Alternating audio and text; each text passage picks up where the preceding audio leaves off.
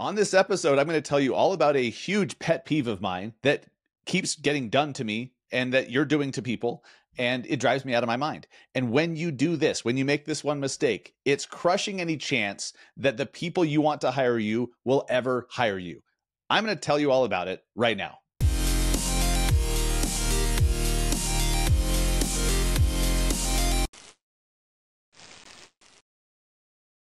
What is up, guys? Welcome to episode 337 of the Massive Agent Podcast. I am your host, Dustin Brohm, in Salt Lake City, Utah. And uh, today we're talking pet peeves. But this pet peeve is eh, I see you guys doing this all the time. And this is done to me all the time. And y- you can do better. All right. So if you're ever trying to get someone to let you, for example, be on their podcast, uh, if you want to get someone's attention, if you want to, if you want someone, if you want to get a buyer to get on a consultation call with you, if you want a seller to let you come to their house and do a listing presentation, all of these things, there's a right way to do it and there's a wrong way to do it. So here's what spurred this. Well, actually, I'll get to that in a second because I got a text message the other day. This awful sales text out of the blue that just set me off. And so so I started taking notes and and thinking of, you know, how how I'm going to relate this to uh, the overall conversation of marketing and and sales and conversion and all that stuff because it just pissed me off. And it it pissed me off because it happens all the damn time. So I'll read that text in a sec and then we'll get started. But before I do that, if you are in the Atlanta area, Atlanta, Georgia on June 25th, June 25th, I'm going to be in Atlanta for a for an event. It's called Coffee and Collab. And this is so myself, Bob Tompkins, Ryan Zook, Connie Carlson. This is for agents of any brokerage. This is not just a real event. This is just, this is open to any agent at any brokerage. And um, and so I highly recommend if you're in the Atlanta area, you come to this event. I would love to meet you. There's going to be a ton of training, a ton of great um, networking. There's going to be happy hour. It's just going to be one fun freaking day. Uh, so if you want to get tickets to this, if you're in the Atlanta area, go to coffeeandcollab.com. Coffeeandcollab.com. Get your tickets. I believe there's only 50 or so left out of maybe 200. So uh, jump on it. And I'll see you in Atlanta on June 25th, which is actually the day after my birthday, which is cool. So I'm going to be in Atlanta on my birthday. Should be golfing. So that'll be cool. Uh, and by the way, uh, agents who have not yet pet peeves. All right. I'm going to get a little spicy on this episode, like it or not. Hopefully, if you're if you're a regular listener, you probably like it. Otherwise, you would would have turned this shit off a long time ago. But it boggles my mind how there there's certain tools you have available to you as agents, certain levers that you can pull that you're just not, because you're you're skeptical or you're like, oh, I'm too busy, I'll do it later. But then you keep struggling with the shame, the same shit over and over and over. That if you just listen to people who were ahead of you in the journey, or if you just use some of the same tools that those who are top producers in your market are all using, you'd be so much further ahead. And it's no secret uh, to me, it, it's completely obvious why so many of the biggest producers in our industry, in your market, in my market, in all of our markets, are all using Keeping Current Matters. And you can try it for free, right? So instead of being like, well, I don't know, I don't want to spend any money, don't go to trykcm.com slash bam and try it out. So keeping current matters, it's a, basically just having an entire team of economists and housing experts on your side to do all the research and tell you what's coming, what's happening, what is happening in, in this high interest rate world. And then not only that, telling you exactly how to communicate it to buyers, exactly what it means for sellers, exactly what it means for investors. They even have scripts for doing videos and social media content. It's freaking awesome. So it's kind of a clue when those who are selling the most homes all use keeping current matters and you can try it for free today at trykcm.com slash bam i highly recommend you do that so let's let me tell you about this text message that I got the other day. Now I, I don't know who the frick it's from. Um, hey Dustin, this is Jace.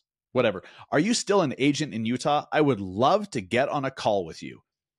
That last part right there, I would love to get on a call with you. Pissed me the fuck off, or, or irritated the shit out of me, because it happens all the time. I, I see this all the time. It, and and look, this podcast, we've been successful, right? We have a big audience. We've been we've been doing this for six and a half years now. And so I'm blessed that a lot of people want to be on this podcast.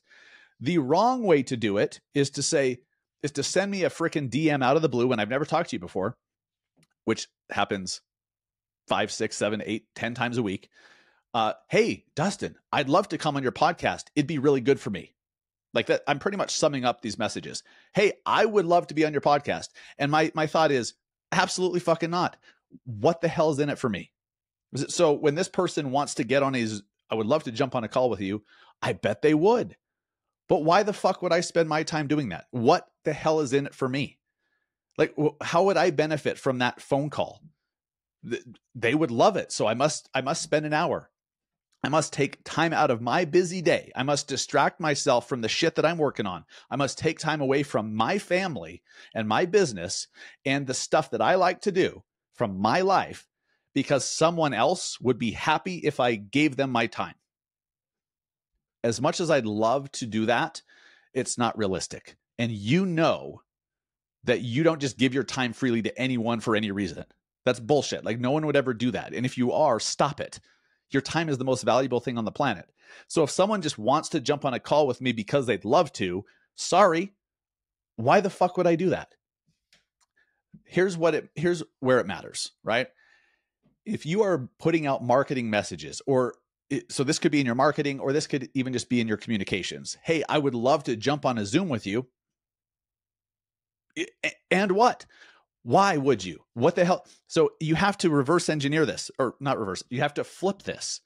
When you want someone to do a certain thing, when you want to get on their podcast, when you want to um, you know be a if you want to have them as a guest on yours if you want to uh, if you're trying to interview somebody for a video show you're doing, if you're trying to get a buyer presentation, a listing presentation, what is in it for them? If you're recording videos on social media, stop. Nobody cares what you want. Nobody cares what you want. Nobody cares what you would love to do. People only care what's in it for them. I know that sounds harsh. It's also the truth.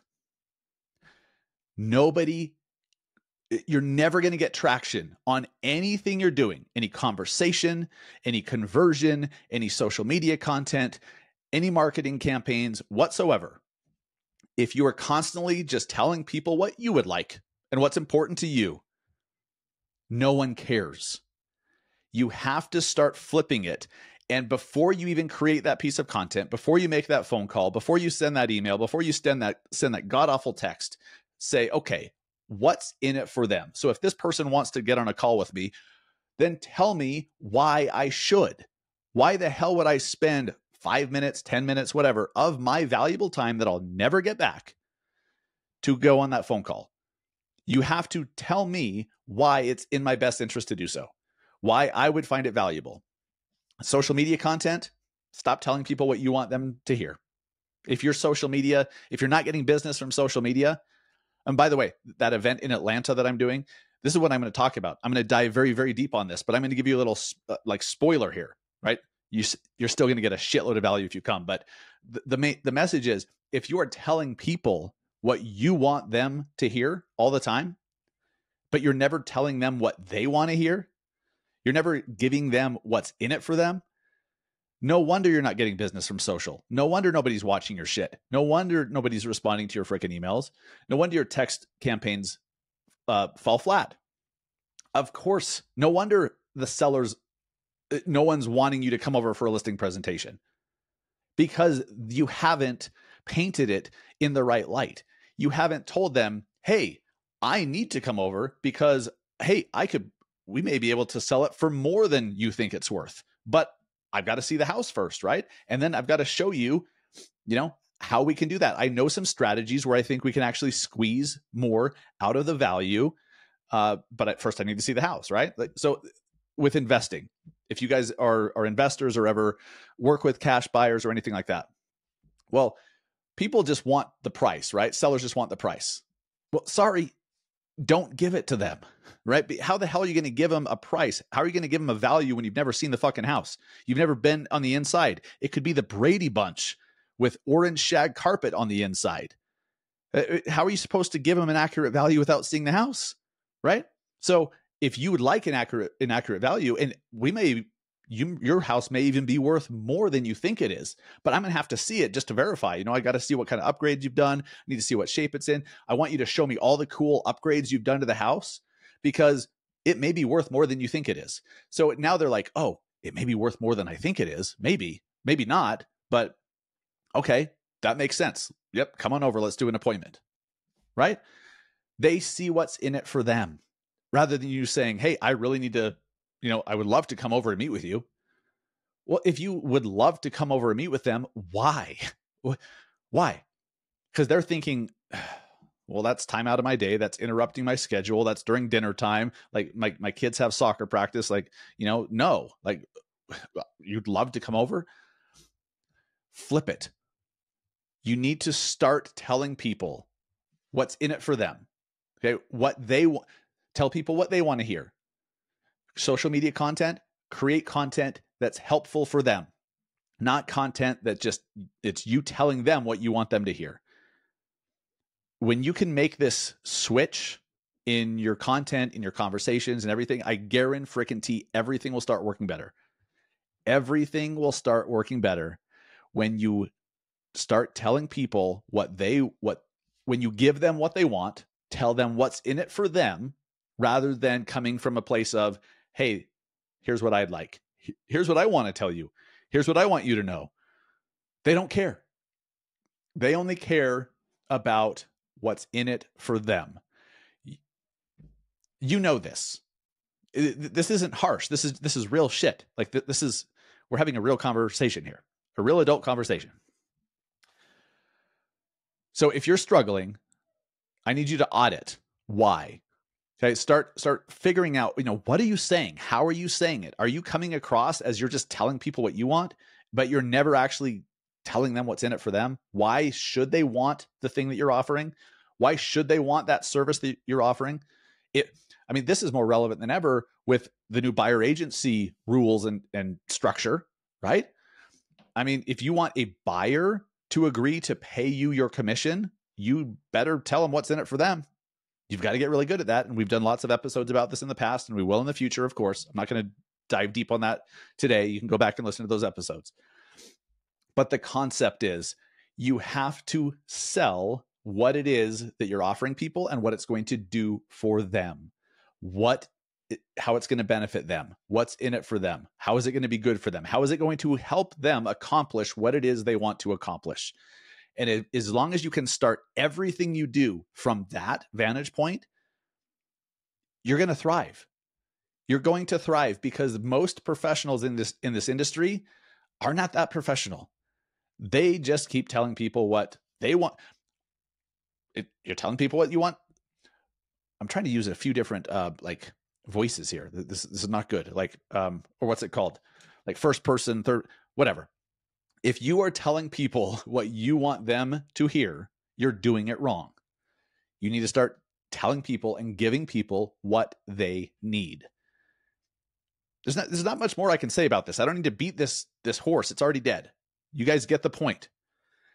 But audit every conversation, every interaction with other humans that you have, like with your kids, with your spouse. If you keep telling your kids, you need to do this because I said so, does that work that well? Does it really work that well? Are, are, your kids gaining respect for you? Are they eagerly doing what it is you want, or are they or are they like, oh fuck you, and they just go do it because they don't they want you to stop yelling at them? Well, what if you explain to them why it's in their best interest to clean their room or brush their teeth or organize this or go to soccer practice or whatever, right? Everything in life works better when you focus on what others need. Simple as that. So, audit yourself, audit the way you do things, the way you say things in all aspects. Anytime you're communicating with anyone ever, remember this I appreciate you listening this week. Share this episode, please, with someone who needs to hear it. If you found this valuable, share it with your broker, a team leader, share it with your friends, share it within a Facebook group or a community of agents that you're connected with. Share it in your stories. Make sure you tag Massive Agent on Instagram. For God's sakes, if you're not following following me on Instagram, you're missing out. Instagram, YouTube, at Massive Agent. Make sure you do that. And by the way, these episodes, if you, some of you guys know this because you're watching this, but if you're listening to this, every single week, the podcast comes out on Thursday. It has ever since we launched six and a half years ago. The podcast, the new episodes come out Thursday morning. Wednesday morning, a day before, the episodes come out on YouTube. So if you want to get these episodes a day early, make sure you subscribe to the Massive Agent YouTube channel where you can get every episode a day early on Wednesdays on YouTube. But you've got to be a subscriber on YouTube. Appreciate you listening. If you're in Atlanta, coffee and collab, that's a coffee and collab.com. Register, get tickets. I'll see you there on June 25th. Take care.